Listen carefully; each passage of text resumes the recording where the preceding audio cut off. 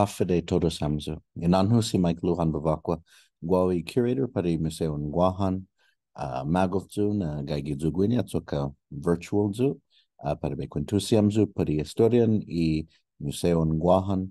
I'm happy to be here, although it may be virtually.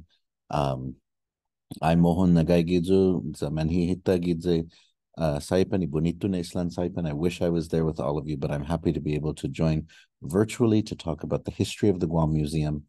I'm happy to be joining on this panel my colleagues from the Guam Cultural Repository to share about uh, the history of the Guam Museum, but then also why the that history and also the obstacles which have appeared in the past, but also the current obstacles of the Guam Museum.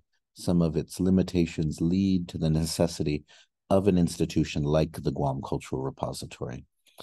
And so um, you can see in this slide, uh, on this first slide here, Guini Gestina Primetna slide, uh, you have different incarnations of the Guam Museum over the years, from the pre-World War II era to the Garden House era, to this image here featuring Tony Palomo, who was the administrator of the Guam Museum and who the Guam Museum is named for today. This is the time when there was no Guam Museum. There was a collection, but no real home for it. To then sort of the design for the the Guam Museum as it is today in its permanent facility in Hagåtña. And so Nihita Tutuhan. So the first documented discussion around the idea of a Guam Museum comes in the 1920s, 1926 in particular, you have this article from the Guam Recorder, Guam to have a museum. And so, for a little bit of historical context, this is the 1920s. This is when um, Chamorros, you know, are experiencing rapid changes to their to their island, rapid changes to their culture because of Americanization. Um, and so there was this feeling, like many indigenous people in a modern context, there was this feeling that their heritage would be lost you know that um, sort of pressures to Americanize, pressures to modernize, pressures to assimilate. Um, all of these things were leading Chamorros to feel that the culture that they had known, but also sort of the ways that they were connected to their past, these things might disappear. These things might be lost as construction of roads, military facilities, the expansion of villages. All of this might mean artifacts being lost, and uh, other things being lost as well. And so the museum is seen as sort of this this this way to stop that loss. And this is a common sort of thing. Indigenous people in a modern context often feel like they are going to they are disappearing because of how their entrance into modernity sort of uh, marks them as as communities that are always already gone right? That their culture is dying, their language is dying, they're losing their land, all of these things. And so the Guam Museum at this time is is really just driven by this feeling like who the Chamorro people are at that time might be lost. So let us create a museum in which we can collect things to represent that before it's too late. Uh, Ramon Sablan was one of the key people who is mentioned at that time. And so the Guam Museum is opened. It is 91 years now since the Guam Museum was officially opened. At first, the American Legion volunteers opened it. Soon, the U.S. Navy took over the Guam Museum. And the Guam Museum at this time really had two sort of functions in the community. When it was originally started, actually, despite the discussion from Ramon Sablan and the Guam teachers in terms of their desires for a museum, it was really started with the impetus of providing a space for visitors to the island to see artifacts, to get a sense of Chamorro culture, and so on. So people who were visiting, whether it was for a day or for a few weeks, the museum was a place they could they could visit. Um, eventually, though, that was eclipsed by the fact that as time went on, as we get closer to the start of World War II, Chamorros feel a stronger sense of ownership over the museum. This is driven, of course, by people like Agueda Johnston, who continue to sort of push for the collection of artifacts. Um, you know, um, and so even something as simple as uh, so when I hear descriptions about the Guam Museum at this time, you know, some one of my favorite descriptions is just that um, teachers in the public school system, for example, when wanting to teach a little bit of history, but a little bit of art as well, would take their students to the Guam Museum and then they would give them paper and they would have them sketch artifacts that were in the cases.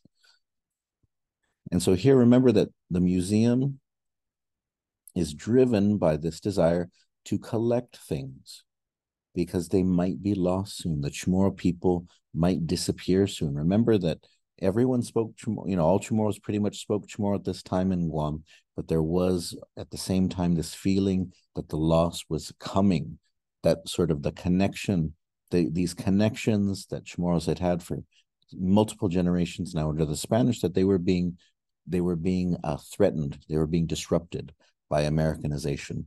And the museum was create something to stand to represent the people, even if these things are lost. And so, really, that Chamorro dimension at that time is create something so that the children of the future who may not be able to see latte stones behind their houses, or who may not understand how a lusong or a matati works, who may not be able to weave things, who may not need to carve things the way uh, their ancestors have in the past, that they can go into this facility and see those parts of their heritage.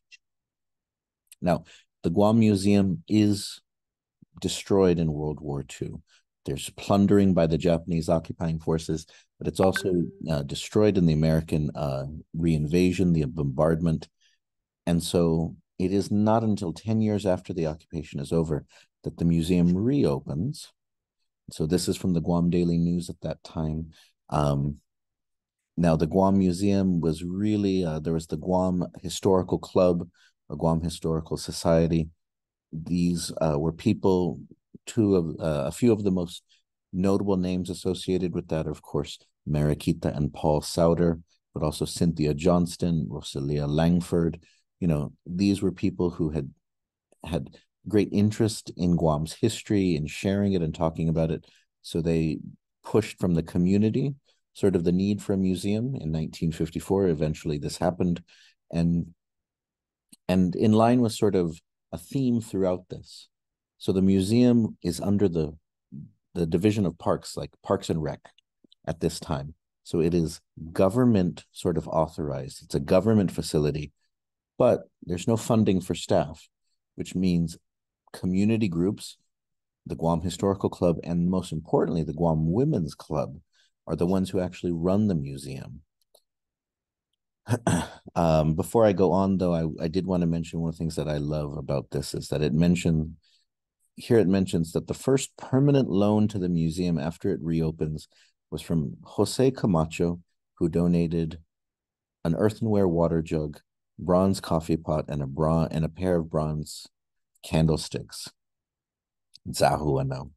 Zahuano, I love that sort of that is a piece of trivia that we can we can share into the future. And so the, the post World War II Guam Museum is put in this house here, known as the Garden House, which is one of the oldest buildings in Guam, uh, built during the 1700s and one of the few areas that survived the bombardment of the Spanish plaza, uh, the Spanish governor's house, excuse me, in Hagåtña. And so Thelma Glenn, who's right here, uh, she was the most recognizable face from that because she was, for many years, the only employee of the Guam Museum. She started off as a volunteer and then later became a, uh, a part time and then a full time employee for the museum. now, as you can see here, when you look at this facility, this, this building is quite old.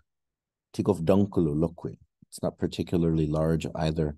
And so even within 10 years after opening, it was already clear that this might not be a great facility and certainly not a permanent facility for the Guam Museum. And this leads us to Carlos P. Taitano, who in 1965, he was the Speaker of the Guam Legislature, he you know he said that he publicly came out saying that there was there was a need to stir up interest in the museum and so what he talked about is that the guam museum at that time in the in the garden house was crowded and old fashioned and that it was not uh, sufficient to meet the needs either of the island as it was developing and increasing in, in population, or sort of the desire on the horizon was that there be a tourist industry for Guam. And the museum certainly wasn't enough for the increasing number of uh, public school children who needed a place to go for field trips, but you know couldn't all squeeze into that cramped uh, garden house.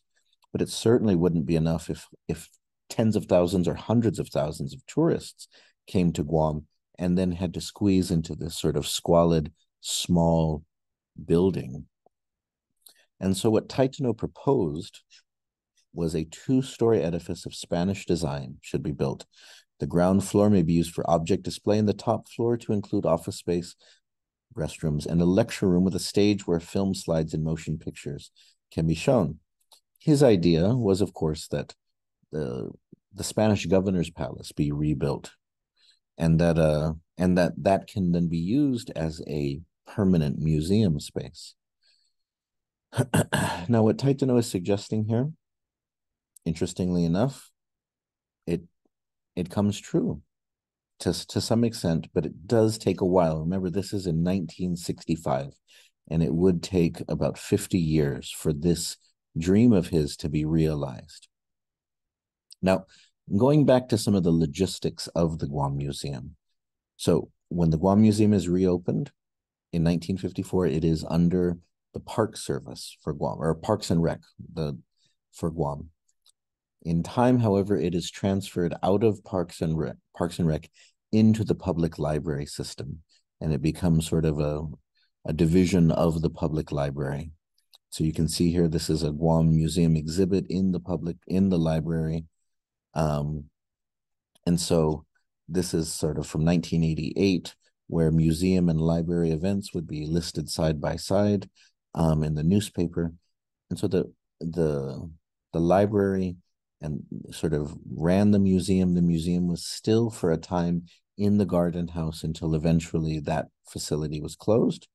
Um, but so, so part of the museum being under the library though meant that it's even while its facilities itself and um, remained pretty much the same with the garden house, although it did the museum also could make use of the facilities of the library because they were now the same entity. Um, and that sort of this transfer did lead to occasionally more staff being hired, oftentimes for short, sort of short segments. But what we see under this time is that, or during this time, is that there's a huge increase in the potential mandated responsibilities of the Guam Museum and that the Guam Museum becomes the the depository for artifacts from Guam's history. Um, the the Guam Museum, because it's part of the library, also because becomes attached to it, it gains archival mandates as well. That it's supposed to also be an archive. But what happens though is that as the Guam Museum is expanding, its its collection is growing, its responsibilities are growing, it's not necessarily those growing responsibilities are not matched in terms of its facilities, in terms of its resources, and in terms of its staff. Eventually, the Guam Museum has made its own agency. It is for a, it is for a time placed in Adelup, um, behind uh, near where the excuse me behind Adelup near where the Latte of Freedom is today. However, that is eventually closed, and this is the start of the time where there the Guam Museum is a collection that does not have a museum. The Guam Museum basically becomes uh, homeless. It has no permanent facility. It is a collection that moves from area to area.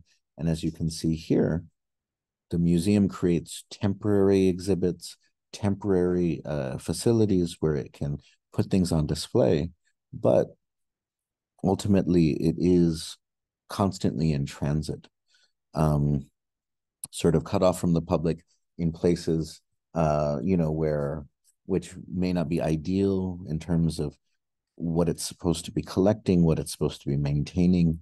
And so this is So as I said, the museum has increased in responsibilities, increased in what it's supposed to do.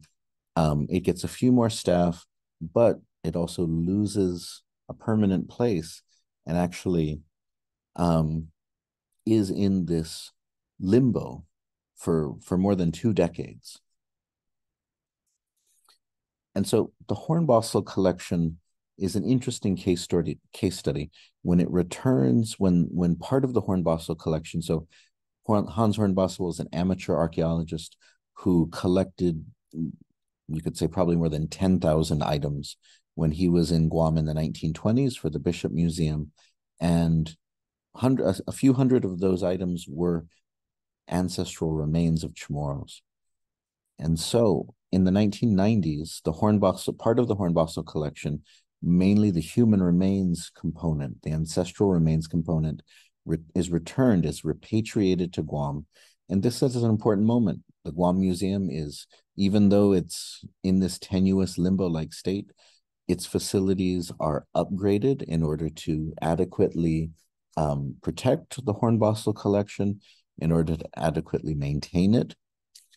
But even while this is an important moment in which the museum, in terms of its role of taking care of the artifacts, the heritage, the remains of the Chamorro people, that sort of the monument, the monumentousness of that only goes so far. As you can see here, uh, a predecessor of mine as a cur- as a curator of the museum, Tony Ramirez, upon the return of these uh, remains from the Bishop Museum, there was the idea, it was proposed, you know, it was conceptualized that there be a shrine, a naftan imanyanata, in which these remains and other remains could be interned, could be could be given a final resting place. Because instead of sitting in warehouses, instead of sitting in in poorly ventilated, not particularly well climate controlled sort of facilities, um, put them back in the ground, let them rest. You know, these are disturbed remains, put them to rest again. And so, despite the repatriation of the Hornbostel collection being this highlight, it also highlights sort of the lack of resources, the lack of facilities, the lack of professional staff, in which taking on these remains, which join thousands of others that the Guam Museum currently has, taking these things on though, but not having the staff in which you can properly maintain them, catalog them, but also perhaps um, sort of study them so that that which is kept sort of in these collections can also be utilized to help educate, to help enlighten about the ancestors of the Chamorro people. And so it isn't until about 10 years ago, actually uh, a little earlier than that, under Go Governor Felix Camacho, there is sort of a new push to create a Guam museum. Um, you know, committees are started um, in which sort of to make it a reality under Governor Eddie Calvo, it does become a reality. And so this is a news piece um, from 2012 in which sort of the the museum plan is being outlined, and you can and you can see that the dream that Carlos Taitano had appears to be coming true. In order to build the museum, we need the land. So I want to thank you uh, for passing Bill 454-31. This is an act to authorize Imagalang Guam to transfer Skinner Plaza presently under the control and supervision of Elisa Turin Guam to the government of Guam for the purpose of construction an educational cultural facility. And with that, I will fix my signature, and it shall become law. Thank you.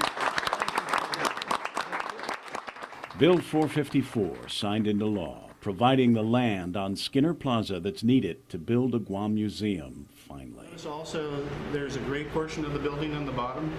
Uh, That's raising the elevation of the museum above the floodplain. We're 11 feet above the sea level and two feet above the high point for the 100-year storm. So we're outside of the flood zone. Um, Additionally, the third floor is where the repository for artifacts will be stored, and that'll be sealed without any windows, so rain intrusion during typhoons won't be an issue. Bids go out in November. In January, construction should begin to take shape. Guam Museum is going to be the most significant structure built on our island in the 21st century in regard to our culture, because it's going to showcase important pieces of our island's history and show the evolution of our culture, displaying artifacts from pre-Latte period, Spanish era, pre-war Guam, and the modern era. In our surveys uh, in the tourism industry, um, we are getting a lot of feedback that they want to know more and experience more of our culture. And what better place to put uh, uh, our museum down in our capital and to be able to really showcase um, our rich heritage. There are high hopes that the museum will draw island residents and visitors back to Agana and become the centerpiece for revitalizing the downtown area. For whatever the questions are and whether it's going to be built here or there, it's important now to understand that we're going to build this museum. And it will be a part of Hagatna. It will be that cornerstone for revitalization of our capital city. Uh, and with that, it will be, again, what I believe, bring life back to a city, bring back the glory that once was. It'll cost $27 million to build, the money coming from last year's hot bond sale. So that $27 million of hot bond proceeds will go solely to the construction of the museum. And, you know, as it turns out, the, you know, the numbers are lining up very nicely that, as Ken mentioned, sticks and bricks and all the soft costs. We're looking at right around that amount to, to construct the museum. Completion All right, and so. Okay. And so this, um. Again, so. Some of the things that sort of are, um. So some of the things mentioned in that news piece are sort of echo things that we've already talked about. So on the one hand, the Guam Museum that ha- has been built, um, the Guam Museum in which I currently work, the Guam Museum as it is today, definitely sort of realizes the dream that Carlos Taitano had, but also represents an evolution of this institution compared to when it is first started. And so this is the facility here, you know, in, in Skinner Plaza, right across from Plaza de España. It is a much larger facility than even Carlos Taitano imagined. It has on the second floor the Hinanao-ta exhibit, a permanent exhibit um, showcasing 3,500 years of Chamorro history.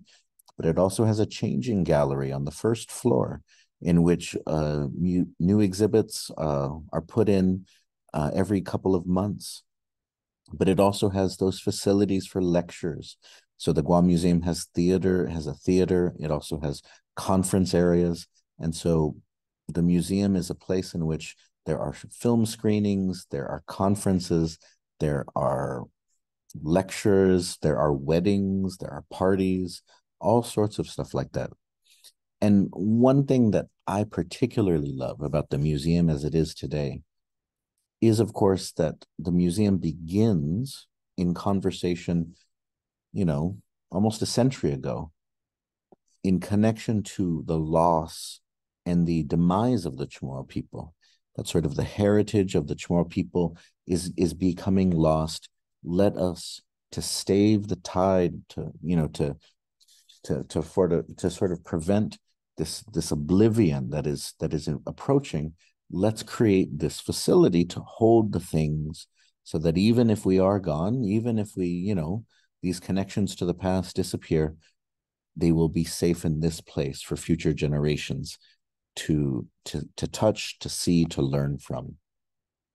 What I love about the Guam Museum today, though, is that it's not so much focused on death or the demise, but it's focused on the living, the breathing tomorrow.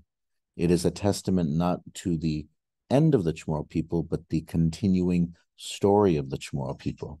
That's why the Hinanao-ta exhibit has that framework, first proposed by, you know, the late curator Tony Ramirez, that the museum is a companion to the Chamorro people as they move through time, not something to represent sort of that, oh, we mark our, you know, we mark this and Thank goodness this is here, like a like the Naftan Paritautauta. No, the museum lives and breathes with the Chamorro people. The exhibits change, the conversation changes. The museum is a place for for serving the needs of a living, breathing, growing, and changing community. And so part of the goal of the museum, its mandates to educate, to be that space. This facility highlights that. This, this facility supports that and promotes that. The problem, though, is what about the other things that the museum is mandated to do? In the news coverage that we just saw, they mentioned, of course, the repository. They mentioned that this new facility, when it was being built, it would be able to store all of the the archaeological collections of the Guam Museum. But this is where we start to see the limits of the Guam Museum. The Guam Museum has done nothing but grow over the years. And the new facility that the Guam Museum has been housed in, it is much larger than the museums of the past, but it is still quite small compared to what the museum needs in order to meet its mandate. The Guam Museum collection is, according to one estimate, more than 250,000 individual pieces. 70% of those pieces are the depository collection. This means artifacts, human remains, things that come from archaeological surveys, digs, construction, military construction, private construction, all of these things, as you can see here in these boxes, these are parts primarily of the depository collection that the Guam Museum is the place in which these things have to be stored. But the problem is that the museum, as it has evolved over the years, it has a new facility, which is much larger than any other version of the Guam Museum in the past, but it is still not large enough to actually hold all of the collections archaeological collections that the museum is mandated to maintain and to watch over. Beyond that, though, the museum, as it has grown, has not evolved in terms of its resources or in terms of its staffing capacity. So that the museum has grown, that sort of in 1965, Carlos Taitano said that the museum had around 3,000, 4,000 items in it. Look at today with 250,000. The problem though is that the amount of money that the, the that the Guam Museum receives and the staff that the Guam Museum um, is budgeted for or in law the, the museum has has not grown to match sort of the obligations that the museum has for its mandate. To give a good example of this, the mu- the the staffing pattern for the Guam Museum today is, of course, that there are two curators. There's an administrator. There are two curator positions.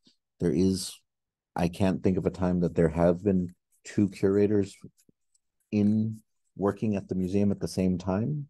But as of today, there is an administrator at the Guam Museum. There is a curator, and then there are a number of assistants. And so maintaining, cataloging, preserving, researching, sort of creating uh, creating programs so that the public can learn from this amazing collection that the museum has requires a robust staff. And it's not simply the, the pure number too but it requires specialized staff. A, muse, a collection of this size requires people who can handle the cataloging the archiving who can do the data who who cannot who who can sort of uh, handle the inventorying. Who there need to be curation techs, curation specialists, like all sorts of specialized skilled labor is required to properly maintain a collection like this. And so it is for this reason, of course, that the Guam Cultural Repository represents the I, the sort of a great next step in this evolving process is that the Guam Museum has, for whatever, for a variety of reasons that I cannot get into, just has not evolved to to to continue to meet the needs of its growing depository collection, although it's also referred to as the repository collection. And so what is needed then is another facility, another facility that can have that focus, that can have those facilities, that can have the staff in order to properly care for these, I, you know, this part of the collection, hundreds of thousands of items, thousands of dis, of distinct ancestral remains. And so, Mananzan, ipateku gwini giestina panel, si Zeus masi puri attention mizu. Thank you all uh, for your attention. Um, Diyos, sa stiki manali hitalo.